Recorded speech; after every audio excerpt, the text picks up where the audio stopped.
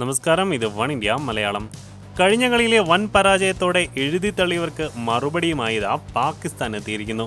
ഇംഗ്ലണ്ടിനെതിരെ കൂറ്റൻ സ്കോറുമായാണ് പാകിസ്ഥാൻ ഇന്നിംഗ്സ് അവസാനിപ്പിച്ചത്. ഇന്നത്തെ മത്സരത്തിൽ ടോസ് നേടിയ ഇംഗ്ലണ്ട് ബൗളിംഗ് തിരഞ്ഞെടുത്തപ്പോൾ ആദ്യം ബാറ്റ് ചെയ്ത പാകിസ്ഥാൻ അൻപത് ഓവറിൽ എട്ട് വിക്കറ്റ് നഷ്ടത്തിൽ മുന്നൂറ്റി നാൽപ്പത്തി എട്ട് റൺസാണ് നേടിയത്. ഓപ്പണർമാർ നൽകിയ മികച്ച തുടക്കം പിന്നീട് വന്ന ബാറ്റ്സ്മാൻമാരും തുടർന്നപ്പോൾ പാകിസ്ഥാൻ വലിയ സ്കോറിലേക്ക് നീങ്ങി. ഒന്നാം വിക്കറ്റിൽ എൺപത്തിരണ്ട് റൺസാണ് ഫക്കർ സമൻ ഇമാൻ കൂട്ടുകെട്ട് നേടിയത്.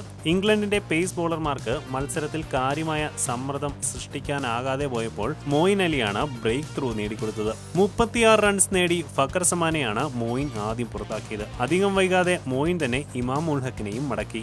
നായകൻ സർഫ്രാസ് ഖാനുമത്ത് ഹഫീസ് വീണ്ടും മികച്ചൊരു കൂട്ടുകെട്ട് പടുത്തുയർത്തി. അറുപത്തിരണ്ട് പന്തിൽ എട്ട് ഫോറും രണ്ട് സിക്സറും അടക്കം എൺപത്തിനാല് റൺസ് എടുത്താണ് ഹഫീസ് പുറത്താകുന്നത്. മാർക്ക് വുഡാണ് ഹഫീസിനെ മടക്കി അയച്ചത്. ഹഫീസ് പുറത്തായതോടെ ആ ദൗത്യം സർഫ്രാസ് ഏറ്റെടുത്തു. നായകനും അർദ്ധ സെഞ്ചുറി കടന്നു. നാൽപ്പത്തിനാല് പന്തിൽ അൻപത്തി അഞ്ച് റൺസ് എടുത്ത സർഫ്രാസിനെ ക്രീസ് വോക്സ് ആണ് പുറത്താക്കുന്നത്. ആസിഫ് അലി പതിനാല് റൺസും എടുത്തു മടങ്ങി.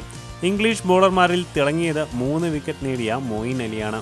കഴിഞ്ഞ മത്സരത്തിലെ താരമായിരുന്ന ആർച്ചർ ഇന്ന് പരാജയപ്പെട്ടപ്പോൾ അലി അവസരത്തിനൊത്ത് ഉയരുകയായിരുന്നു. ഇംഗ്ലണ്ടിനു വേണ്ടി മോയിൻ അലിയും ക്രിസ് ബോക്സും മൂന്ന് വിക്കറ്റ് വീതമെടുത്തു. മാർക്ക് വുഡ് രണ്ട് വിക്കറ്റും നേടി. അതേസമയം ഈ ലോകകപ്പിലെ ഏറ്റവും കരുത്തുറ്റ ബാറ്റിംഗ് നിരയായാണ് ഇംഗ്ലണ്ടിനെ വിലയിരുത്തപ്പെടുന്നത്. അതിനാൽ ഈ സ്കോർ അവർക്ക് എത്തിപ്പിടിക്കുവാൻ സാധിക്കുമെന്നാണ് പൊതുവെയുള്ള വിലയിരുത്തൽ. Sports desk one India Malayalam.